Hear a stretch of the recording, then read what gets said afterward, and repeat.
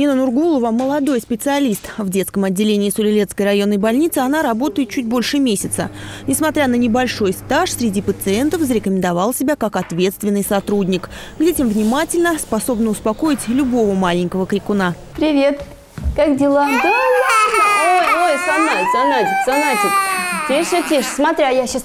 Сонатик, смотри. Стать медсестрой Нина Нургулова решила в довольно сознательном возрасте. И с местом работы определилась сразу. Только родной Сулилецк. Это мой город.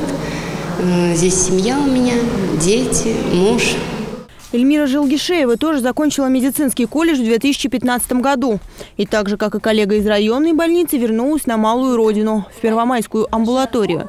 Здесь девушка заняла должность патронажной сестры. Пришла на смену специалисту с 40-летним стажем. Несмотря на молодость, успела заслужить уважение старших коллег. За короткий период работы она себя показала как грамотный специалист, дисциплинированный и очень трудолюбивый. Это вот первый молодой специалист за все мое время работы. Да. Поддержка со стороны Министерства здравоохранения, все это, я считаю, все очень здорово. Поддержка от государства – 300 тысяч рублей. Эти деньги решено выплачивать молодым специалистам, выпускникам медколледжей в год окончания учебного заведения.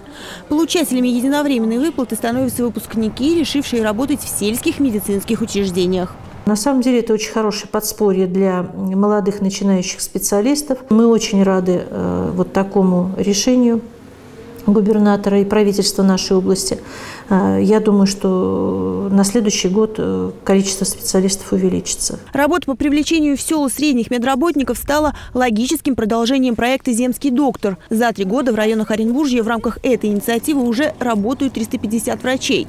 Кадровое пополнение получили 29 сельских районов. Есть все основания полагать, что принятые правительством регионы меры также улучшат ситуацию со средним медицинским персоналом на селе.